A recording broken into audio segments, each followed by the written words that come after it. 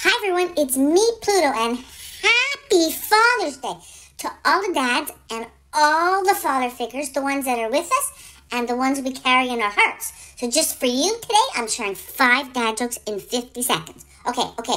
Did you hear about the chameleon who couldn't change color? He had reptile dysfunction. okay, what do you call an elephant that doesn't matter? Irrelevant. okay, there was a cheese factory explosion in the France land. All that was left was debris. But um bum. Oh, that's so cheesy.